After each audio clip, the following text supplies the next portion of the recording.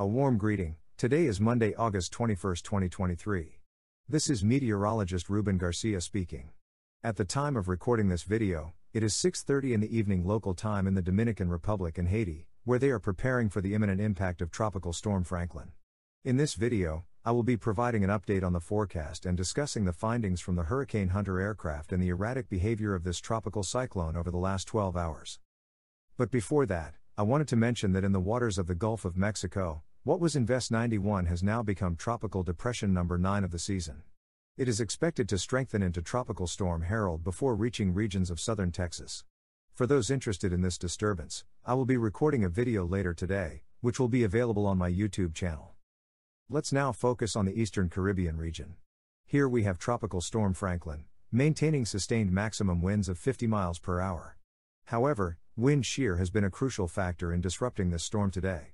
A Hurricane Hunter aircraft identified that the low level circulation center is located approximately in this area. But you can see that the mid level circulation is to the northeast, as well as the strongest area of rain and thunderstorms. It's clear evidence that the strong wind shear from the west and southwest has significantly disorganized this tropical cyclone. The aircraft is still investigating the area and has found that during the afternoon, the circulation center has remained fairly stationary near latitude 14.4 degrees north and longitude 70.1 degrees west. The circulation center has been somewhat erratic, and the circulation is not as well defined compared to the last Hurricane Hunter mission. The aircraft found that it's generating winds of tropical storm force, and that's why, as of 5 in the evening, it remains a tropical storm with sustained maximum winds of 50 miles per hour. Additionally, the Hurricane Hunter aircraft found that the circulation center was further south than estimated at 11 in the morning. As you can see in this graph, the center underwent a southward relocation, and we'll now discuss how this will affect the cyclone's forecast. In the infrared satellite image, we can see that the circulation center is located approximately in this zone. Notice that the strongest area of thunderstorms is to the east of the circulation. Under these conditions, Tropical Storm Franklin probably won't strengthen much over the next few hours.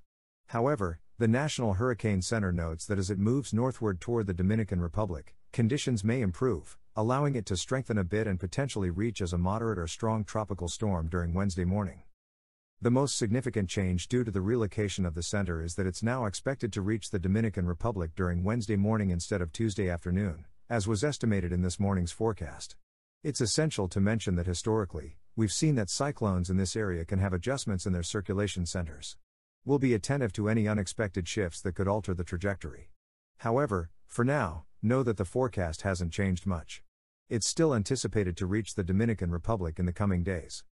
Here, we can see the consensus of trajectory models, which, despite the southward relocation of the center, still indicates that it will start turning northward over the next few hours, bringing the circulation center over the Dominican Republic. Some models even suggest a slightly more westward track over Haiti. However, the official forecast from the National Hurricane Center estimates that it would come near the city of Barahona during Wednesday morning. Another minor change in the intensity forecast is that most models suggest that it will maintain a consistent intensity for at least the next three days. This is likely due to the current appearance of the Caribbean Sea region and the strong wind shear affecting its circulation. After crossing over the Dominican Republic, it's still projected to potentially re strengthen north of the Dominican Republic and Puerto Rico, becoming a hurricane as it moves away into the open waters of the Atlantic. Here we have the official forecast from the National Hurricane Center.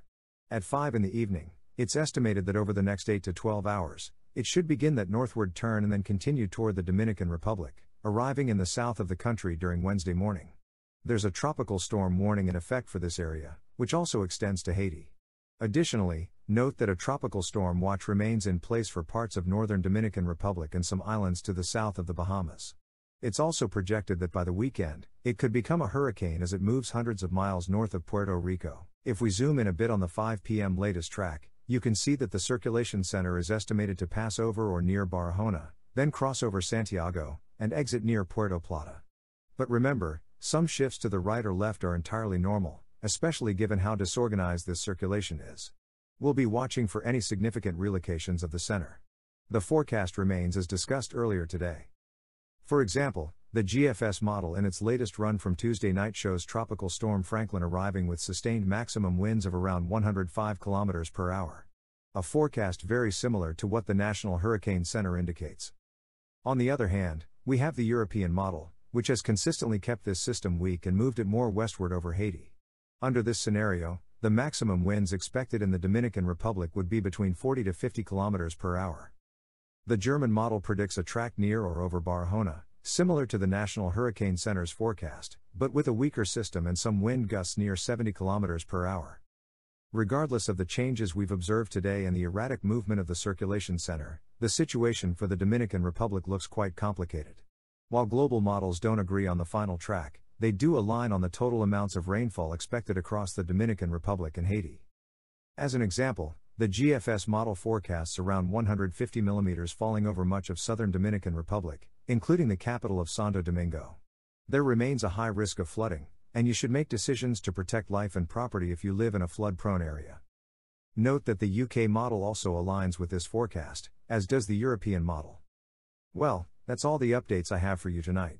I'll provide a new video update tomorrow morning.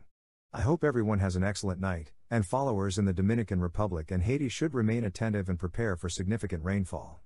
For Puerto Rico, stay vigilant to any changes, although there's much consensus that it should cross over the Dominican Republic.